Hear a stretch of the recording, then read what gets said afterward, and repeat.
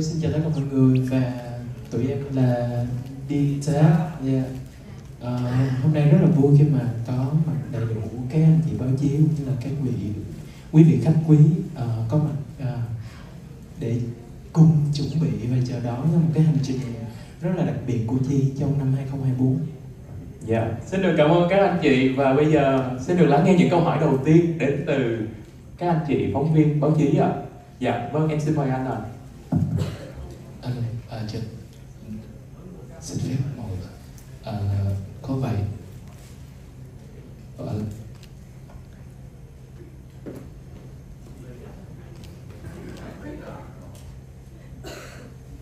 à, có vậy muốn hỏi thứ nhất là mình à, cái tiêu chí mình chọn các trường để à, làm school tour là gì? Thứ nhất là có phải là fan của chi đông hay là có một tiêu chí nào khác? Và mình à, thông báo đến các trường và các trường phải nói chung là qua những công đoạn nào thì mới được chọn để chi đến cái trường đại diễn. Và chi đã từng làm trường Marie Curie trong thành phố Hồ Chí Minh, thì có làm lại trường Marie Curie này hay không? Đó là câu thứ nhất. Câu thứ hai muốn hỏi Phan Anh là một cái chương trình school tour nó hoành tráng như vậy mà sao chỉ có một nhà tài trợ là BTS mà mình không kêu gọi thêm. Hay đây không phải là nhà tài trợ độc quyền hay không? À, một ý nữa là muốn hỏi đi tác là âm nhạc. Tụi em làm cái âm nhạc giữa các trường và các miền có gì khác nhau hay không? Hay là mình vẫn giữ nguyên cái đường dây kịch bản những bài hát đó để mình đi diễn suốt trong cái tour xuyên miền này? À, dạ cảm ơn hùng chắc cho em xin phép em trả lời câu thứ hai trước thật ra thì uh, school tour đã được chuẩn bị trong một thời gian rất là dài chứ không phải là mới đây. Thật ra tụi em đã uh, như là nói thì cũng đã được khoảng 10 tháng rồi. Uh, tụi em uh, thật ra thì có đến khoảng 4 hay 5 nhà tài trợ sẵn sàng đồng hành. Tuy nhiên thì uh, cái mục tiêu của uh, Vmart dành cho cái school tour đó là làm thế nào đó để mang Phương Mỹ Chi đến gần hơn và à, mang quan trọng nhất là truyền tải được cái à, cái thông điệp cũng như là cái giá trị cái cốt lõi về văn hóa mà mong muốn rằng sẽ được truyền tải.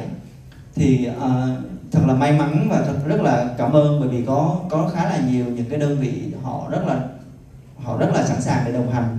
Tuy nhiên thì trải qua những cái quá vòng đàm phán thì à, cái chuyện này nói trước nó nó cũng là rất là bình thường thôi. Tức là họ sẽ có những cái yêu cầu uh, nó ví dụ như có một có một đơn vị thì họ muốn yêu cầu rằng là họ phải đặt tên của họ trước cái school tour. Ví dụ như là uh, Việt Hùng uh, vũ trụ coi đi ví dụ vậy. Thì uh, thật ra đó là một điều rất là bình thường trong tất cả những cái nhà tài trợ. Uh, bởi vì họ tài trợ thì họ cần mình phải uh, quảng bá lại thì chuyện đó rất bình thường thôi. Tuy nhiên thì hai anh em ngồi với nhau và bàn thì uh, chi uh, có nói một câu rằng là em mong muốn rằng mình làm cái show này để dành tặng cho các bạn sinh viên. Và cái tính chất của cái chương trình em muốn nó hãy trở thành một cái chương trình mà mình có thể là một món quà cho các bạn. À, và đối với Vmart thì chúng tôi không đặt nặng vấn đề à, về thương mại ở cái show này. À, chút nữa chi sẽ sẽ nói thêm một chút nữa. Nhưng mà rõ ràng ở chương trình này như mọi người đã thấy thì chương trình hoàn toàn là đến mở cửa à, không bán vé và để dành tặng cho các bạn sinh viên. Bởi vì ngay như từ đầu thì như như Phan Anh đã nói tức là đây là một cái sự tri ân rất là lớn mà Vinmart muốn dành cho các bạn. Thì cũng có những cái nhãn hàng thì họ nói là ok uh, họ sẽ không đòi hỏi đặt để tên của họ trước cái chương trình nhưng mà hãy cho họ cái màu sắc nhãn hàng vào đó. Thì thực sự là là cũng cũng hiểu rằng đó là những chuyện rất là bình thường thôi. Nhưng mà chúng tôi muốn focus toàn bộ cái show này vào âm nhạc và muốn truyền tải tất cả những cái thông điệp về âm nhạc mà chúng tôi muốn dành trong cái tour này. Và khi mà tôi gặp BTS thì may mắn rằng là hai bên hiểu được về cái kết lõi ờ, cái giá trị mà hai bên cùng với đồng hành với nhau. Và chúng tôi nhanh chóng tìm ra những cái điểm chung. Và hai bên đã cùng nhau để tìm ra được cái giải pháp về dung hòa. Ở Vimax chúng tôi muốn uh, cố gắng đề cao và gìn giữ những cái giá trị văn hóa và không thương mại. Thì cảm ơn Mitit một lần nữa vì đã hỗ trợ đồng hành cũng như là thấu hiểu được cái cái giá trị cốt lõi mà Viman muốn đặt ở cái school tour này. À, và cũng ờ, gửi một lời xin lỗi đến ờ, những cái nhãn hàng đã rất là yêu quý muốn hợp tác nhưng mà chúng tôi có những cái giá trị cốt lõi.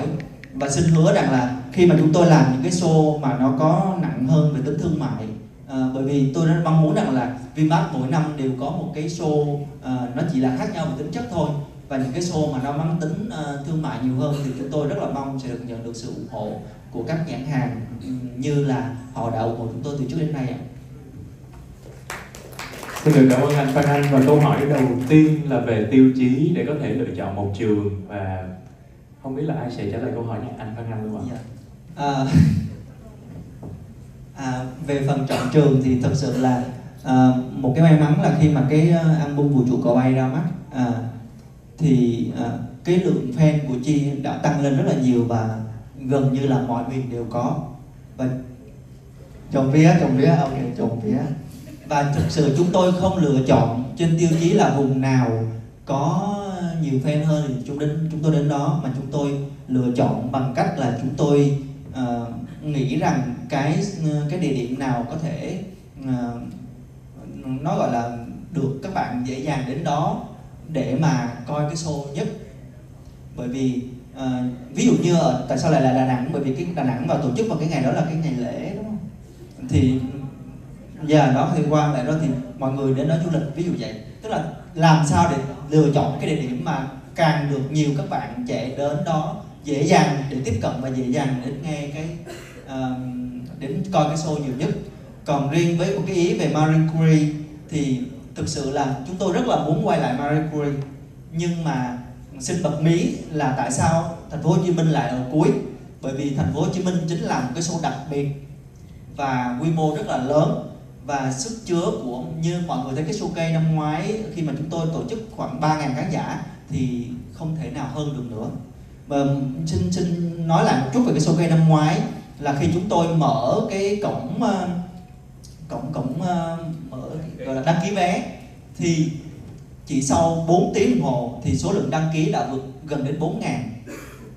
Tức là chúng tôi hiểu rằng là và cái địa điểm thì bên bên bên uh, blog có báo lại là không thể nào chứa được 4 ngàn cả. Cho nên là chúng tôi rất muốn quay lại Marie Curie nhưng mà về sức chứa thì không đáp ứng được. Và chúng tôi phải tìm một cái giải pháp khác. À, còn về những cái phần khác về câu hỏi của anh Hùng thì chắc là Blon giúp anh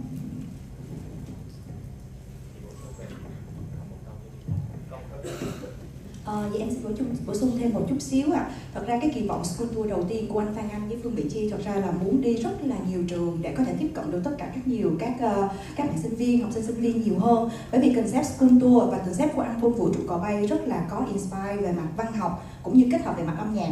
Cho nên việc tiếp cận tới tất cả các anh chị học sinh, uh, các em học sinh sinh viên đó là một cái mục tiêu rất là lớn của DTAP cũng như là tất cả các anh chị bên VMAS nhưng mà bởi vì chúng mình, tụi em cũng phải hiểu, tụi em hiểu là cái sự đồng hành này sẽ không có quá nhiều nhà tài trợ và cũng như là cái mục đích để làm nhạc của tất cả đi tác cũng như là phương mỹ chi trường đầu tư rất là kỹ trong cái phần nội dung âm nhạc. Và creative cũng tương tự như vậy, thì không thể phân bổ quá nhiều với một cái số lượng rất là lớn được trải dài xuyên suốt từ khắp khắp nơi ở Việt Nam. Đó là kỳ vọng đầu tiên của School Tour.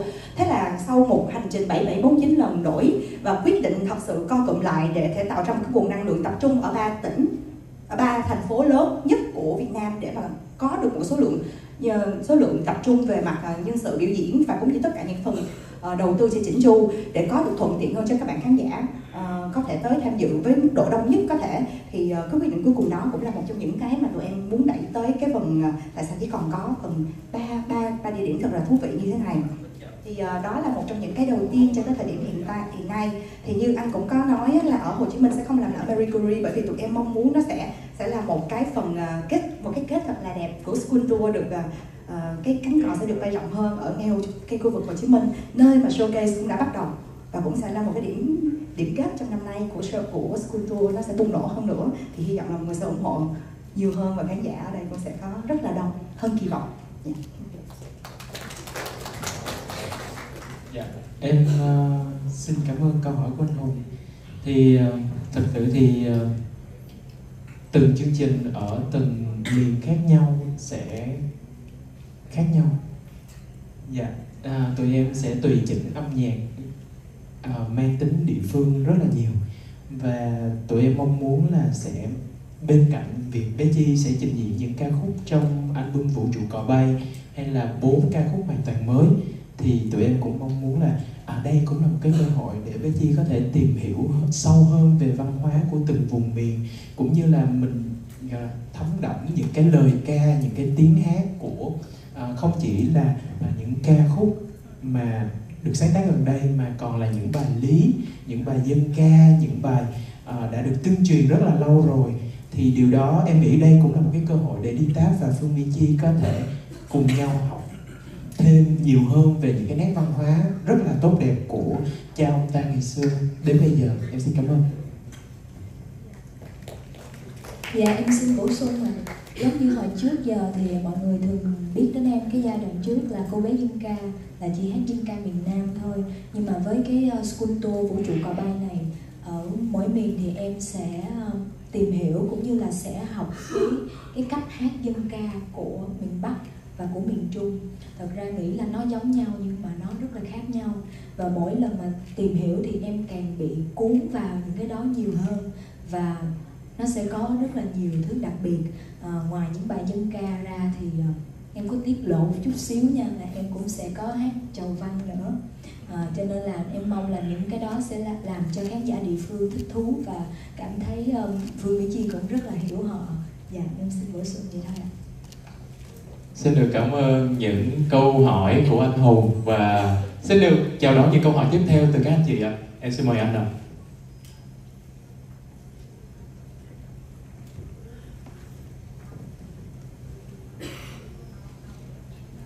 Alo, à, mình là Hải Phương đến từ báo tuổi trẻ mình sẽ phép ngồi luôn ạ mình có một vài câu hỏi hỏi bạn tôi chút xíu là hồi nãy mình chia sẻ mà thằng anh chia sẻ là show của mình là chỉ miễn phí á.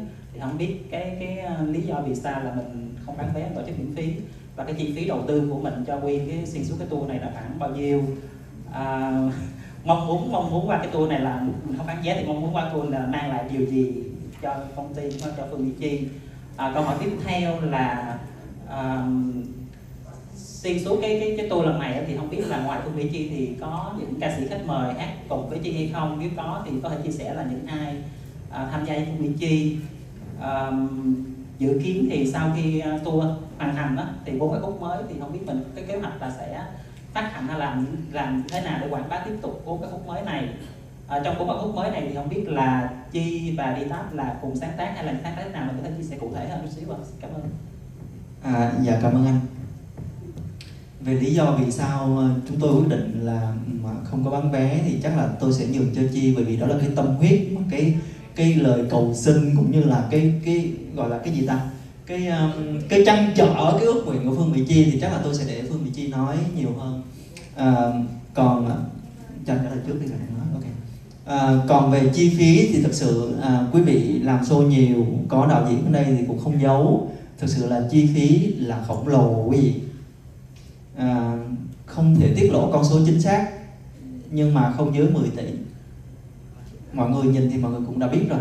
À, xin mời mọi người hôm nào mà à, chắc chắn là chúng tôi sẽ mời mọi người đến coi show thì mọi người sẽ thấy là chúng tôi à, dàn dựng rất là kỹ lưỡng và vận chuyển rồi nhân sự rồi uh, prop rồi rất là thứ thì các bạn sẽ thấy là cái tour này rất là lớn về tiền tôi không thể nói về con số chính xác được nhưng cực kỳ lớn về tiền.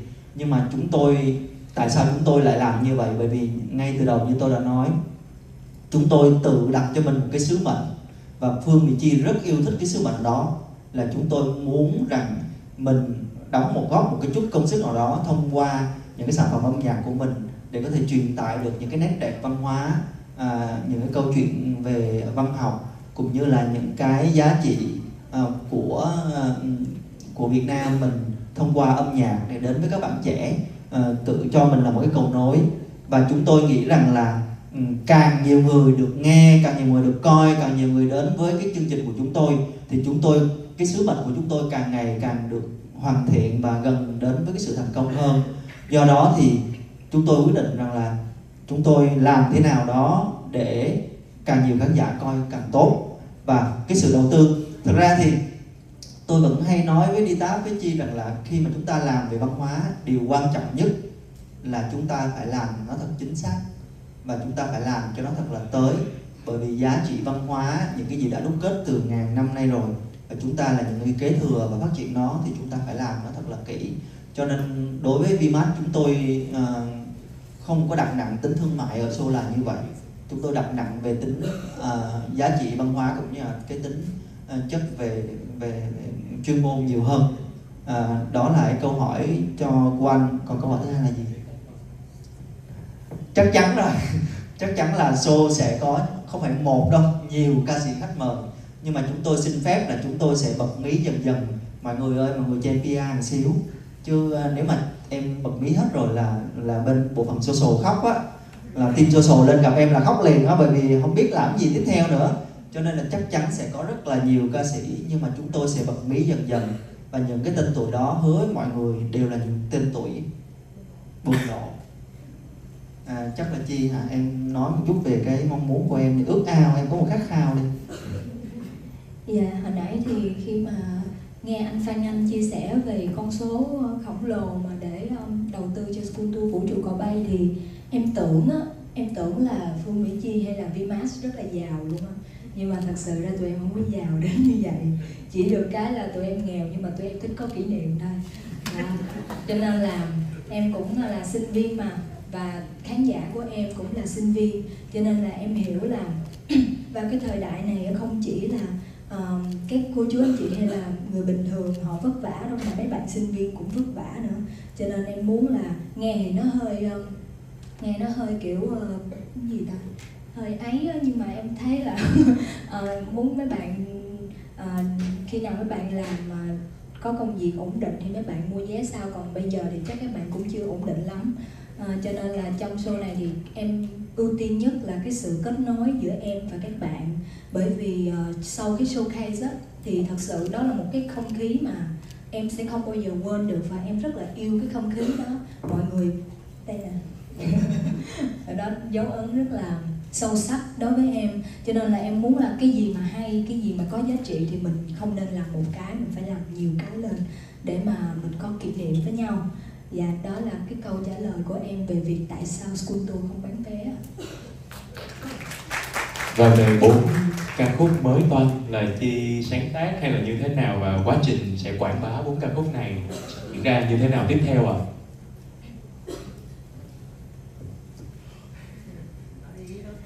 Dạ, bốn ca khúc này thì hồi nãy em có chia sẻ là đáng ra nó chỉ là ba ca khúc thôi là mỗi miền một bài.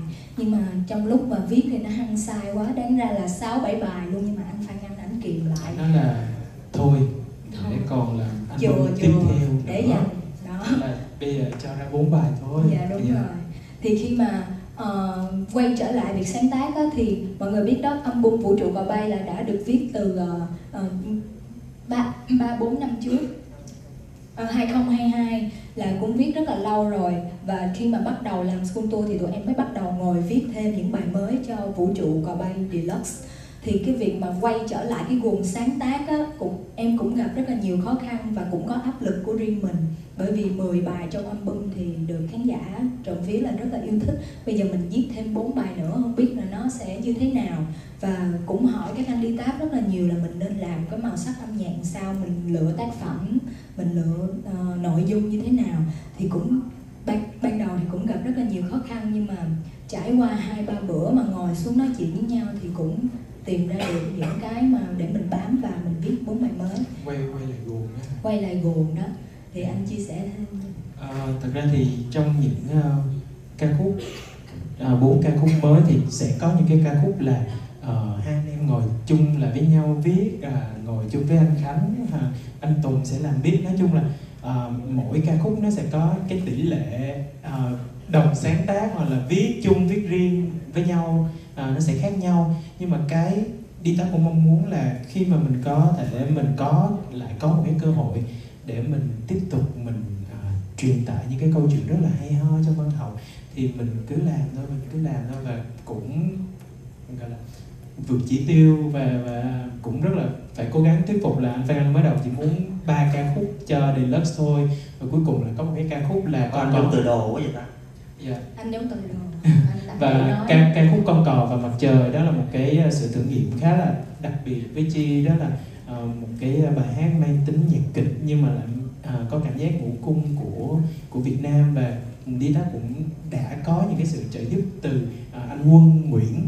Thì uh, uh, có rất là nhiều thứ rất là nhiều thứ uh, để có thể cộng lại. Ví dụ như là Team Anus cũng có đóng góp cho những cái ca khúc này thì khi mà làm nhạc hay là khi mà quá trình sáng tác ca khúc thì tụi em cũng rất là thích câu chuyện về mình làm việc teamwork với nhau. Và em nghĩ là những cái sản phẩm của tụi em những sản phẩm của chi nó là một cái câu trả lời rất là uh, uh, hiệu quả cho cái câu chuyện là mình làm việc teamwork như thế nào.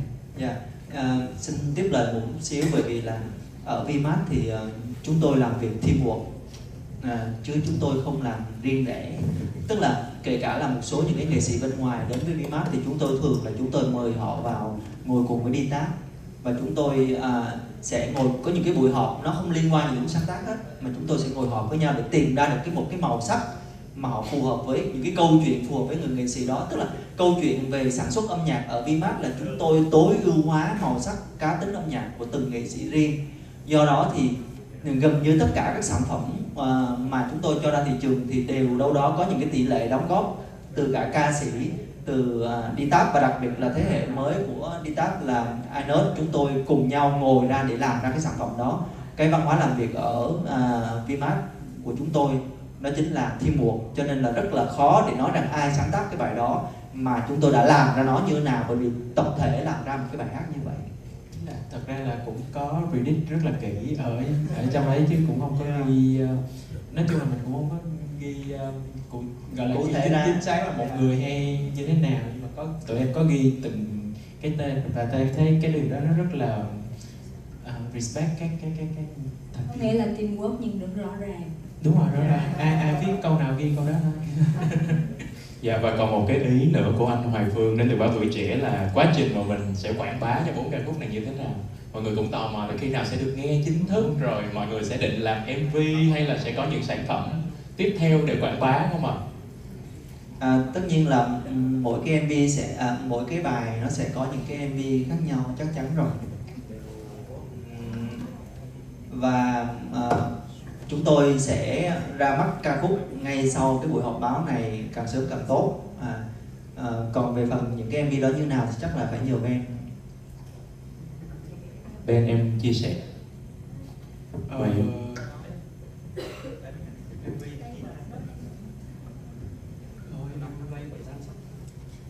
Um, ờ, thực ra là MV thì cái này chắc phải bật mí sau từ từ nhưng mà cha phép, em được xin chia sẻ về cái vũ trụ cò bay school tour này. Thì so với cái ờ, vũ trụ cò bay showcase kỳ trước thì nó là một cái cuộc dạo chơi sơ bộ để mọi người có thể hiểu được cái thế giới vũ trụ cò bay của Fumichi thôi. Còn cái về cái vũ trụ cò bay school tour thì nó sẽ là một cuộc hành trình của Phương Mỹ Chi bước vào cái thế giới vũ trụ cò bay này để mình khám phá rất là nhiều thứ khác nhau để rồi Chi sẽ đến một cái ngôi đền và mở ra một cái món quà dành cho, cho tất cả mọi người.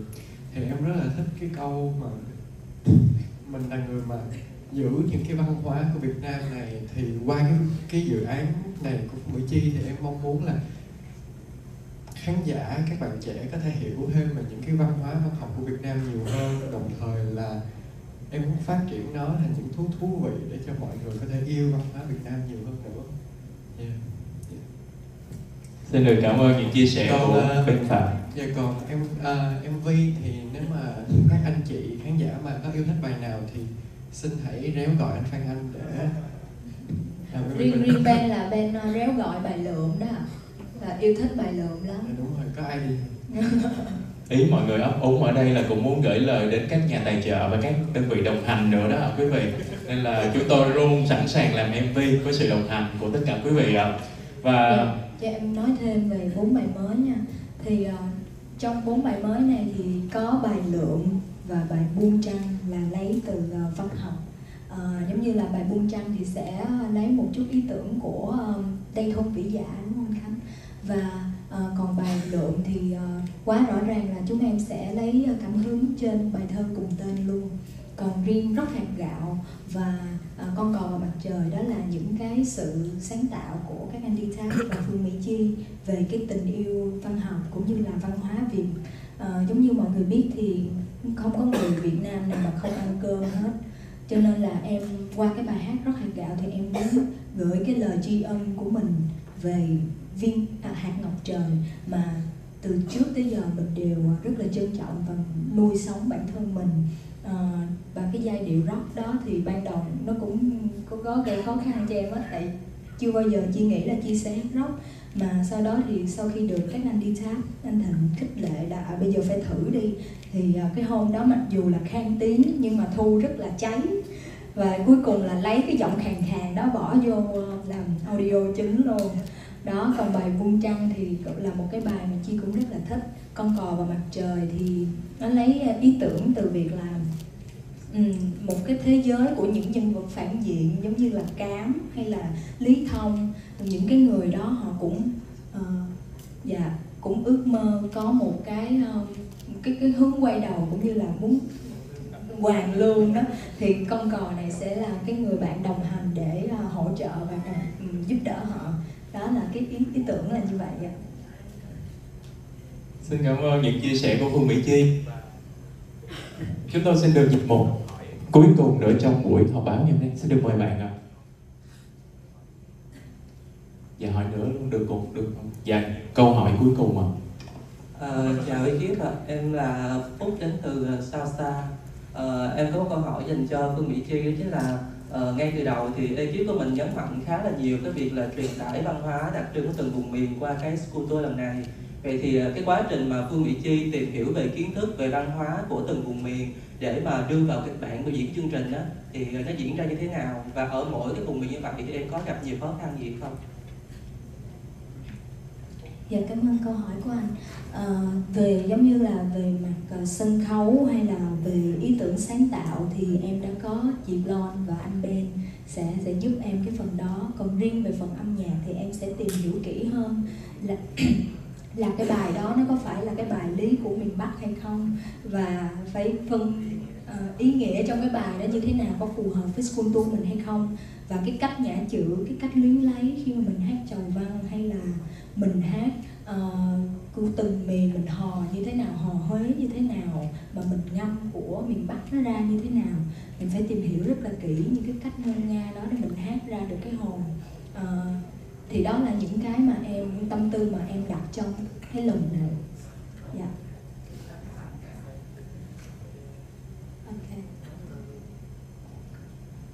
Xin được cảm ơn câu hỏi của anh thấy em trả lời gì đủ chưa? Dạ em có dạ em xin mời một câu hỏi tiếp theo. Dạ rồi. À, cách đây mấy ngày thì uh, bên Vinmart của mình có công bố là có một nghệ sĩ mới là Mai Phương ạ. À. thì uh, không biết anh Văn Anh có dự định cho Mai Phương góp mặt ở trong uh, school tour này của Phương Mỹ Chi không? À, cảm ơn bạn rất là nhiều. Thực sự là tôi nghĩ rằng là đây là cái school tour của Phương Mỹ Chi mà chúng ta nói về máy Phương thì uh, cũng hơi cũng cũng không phù hợp lắm. Tuy nhiên thì chúng tôi có thể nói rằng là uh, bất cứ một nghệ sĩ nào ở công ty uh, đều có những kế hoạch riêng và chúng tôi đã chuẩn bị một cái kế hoạch cực kỳ dài hơi cực kỳ không thua kém phương minh chi và cực kỳ là rõ ràng dành riêng cho thu, cho cho uh, mai phương. Và chúng tôi mong rằng quý vị hãy uh, chờ đón và ủng hộ mai phương giống như đã chờ đón và ủng hộ phương minh chi trong thời gian vừa qua. Và chúng tôi có kế hoạch cho mai phương. À, xin cảm ơn ạ. Và xin được cảm ơn những câu hỏi đến từ các anh chị. Mình còn uh, câu hỏi nào nữa không ạ? À? dạ vâng em xin mời anh ạ.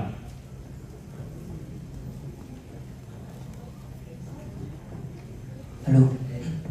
À, cho tôi hỏi một câu cho là rõ ý à cái con số sắp xỉ 10 tỷ đồng mà Phan Anh vừa ờ, chia sẻ thì là cái con số đó là do công ty đầu tư cho Phương Mỹ Chi hoặc là Phương Mỹ Chi đóng góp bao nhiêu phần trăm trong cái kinh phí này? Bạn đã phải tích góp ra sao trong hơn 10 năm đi hát để có thể làm cái tâm huyết này nó trở nên toàn vẹn. Cảm ơn. À, à con số này à, thật ra chúng tôi cái công ty của chúng tôi hoạt động theo cái cách khác so với thị trường. À, cho nên là tôi có thể nói rằng là để được đầu tư vào đây thì Phương vị Chi đã không nhận lương trong một thời gian rất dài. Và bạn cũng có những cái đóng góp uh, riêng của bạn giống như là cho công ty mượn tiền vậy đó để chúng tôi có thể đầu tư vào cái ờ, show này. Và chúng tôi phải nói thật rằng là chúng tôi sẽ không làm được cái school tour này nếu như không có sự động lòng của tất cả các anh em và không có sự hỗ trợ của tất cả các anh em chị em trong công ty. Và đóng góp của Phương Mỹ Chi chắc chắn rồi là một trong những cái đóng góp lớn nhất để có thể hoàn tất được cái school tour bởi vì cô ấy chính là ca sĩ trình diễn và tất cả các nghệ sĩ ở Vinmart họ chỉ cần làm một điều thôi là họ tập trung vào chuyên môn.